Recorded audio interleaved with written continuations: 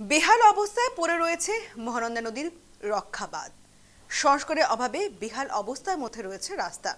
বাঁধে যেখানে সেখানেই দেখা দিয়েছে ফাটল। সংস্কারের অভাবে ঢুকছে দুটি বিধানসভার এই রক্ষা কবচ বাঁধটি।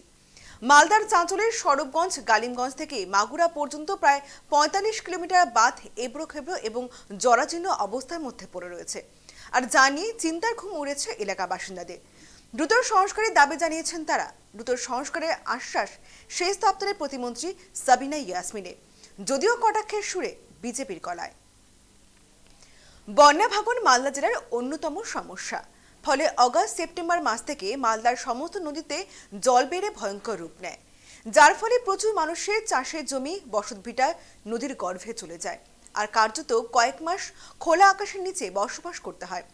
আর মহানন্দা নদীর তীরে বাস ভাবনা, বারো মাস এখন বর্ষা না থাকলেও এখন থেকেই বর্ষার আতঙ্ক নিয়ে ঘুম উড়েছে চাঁচলের গালিমপুর সরবগঞ্জ নদী তীরবর্তী এলাকার মানুষদের। এক দশকে বেশি সময় ধরে মহানন্দার বাঁধ বেহাল অবস্থায় পড়ে রয়েছে। বাঁধের মাঝের অংশ তৈরি হয়েছে, ফাটল বেরিয়ে এসেছে কঙ্কালসা চেহারা, আর যা নিয়ে রীতিমতো চিন্তিত দুই বিধানসভার লক্ষাধিক মানুষ। দ্রুত বাঁধ সংস্কার করা হোক, না হলে সামনের বর্ষায় ভয়াবহ বন্যা অবস্থা তৈরি হবে। দ্রুত বাঁধ সংস্কারের জন্য বিভিন্ন দপ্তর থেকে জানানো হয়েছে বলে জানিয়েছেন এলাকার বাসিন্দারা।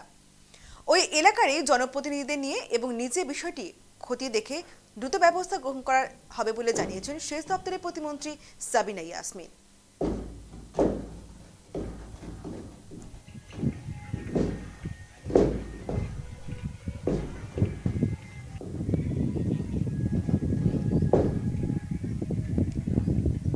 শুরুতে শোনাবো কি জানিয়েছেন গ্রামবাসীরা।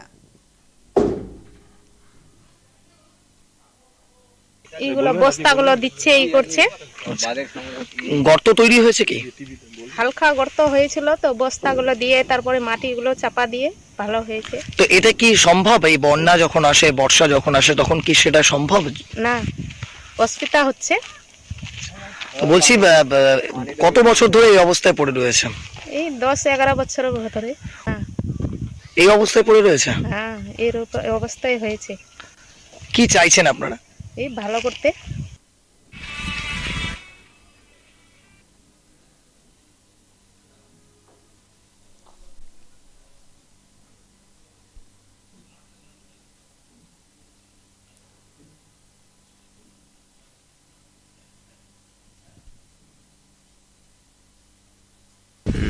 আপনার মাগুড়া হইতে আপনার সেই কুশিদা পর্যন্ত প্রায় বিয়াল্লিশ কিলোমিটার রাস্তা।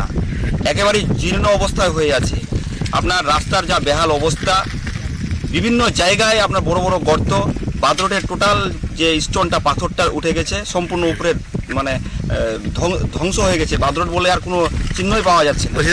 এই বেশি যেটা হয়েছে সব থেকে বেশি ক্ষতিগ্রস্ত সেটা হলো যে দু হাজার সতেরো সালে বন্যার সময় যে বাদটা কেটে গেছিল নুনাতোর মানন্দপুর অঞ্চলে আপনার খরবা অঞ্চলে আপনার দিয়াগঞ্জ ইসলামপুর থেকে আরম্ভ করে ভগবানপুরের আপনার জোতচণ্ডী আপনার নয়নপুর এই সমস্ত জায়গায় সব থেকে বাঁধের বেশি মানে ক্ষতি বা বেশি সব থেকে ক্ষতিগ্রস্ত এই এই সমস্ত জায়গাগুলোতে।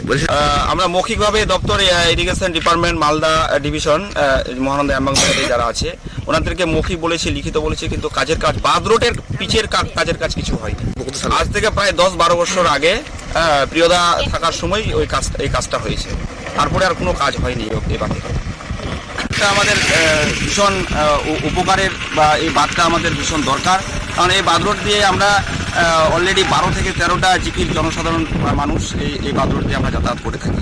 আমরা সরবগঞ্জ বলুন, আপনার চাচল হাট বলুন, আশাপুর হাট বলুন, আপনার দুর্গাপুর হাট বলুন, বিভিন্ন এই রাস্তার পাশে বাঁধ রোডের পাশে যে হাটগুলো আছে, এই রাস্তা দিয়েই এই মেন রাস্তা আমাদের এই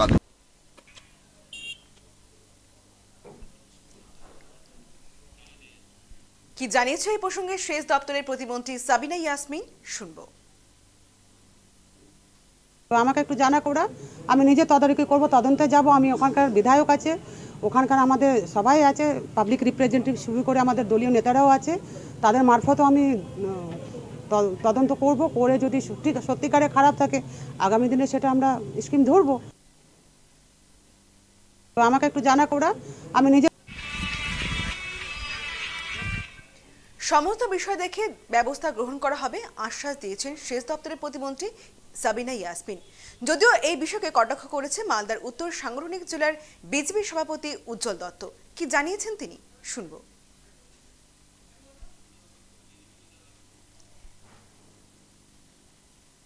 আপনারা তো জানেন ভালোভাবেই যে পশ্চিমবঙ্গে যে সরকার চলছে, সেই সরকার যেটুকু কাজ করে, এক তো কাজ করে না যেটুকু আগের করা ছিল বা এখন যারা তারা যেটুকু করছে, ধরুন একশো টাকার মধ্যে আশি টাকায় তারা পকেটস্থ করছে, কুড়ি টাকার কাজ হচ্ছে। এই কুড়ি টাকার যদি কাজ হয়, সে কাজের মান কি থাকে?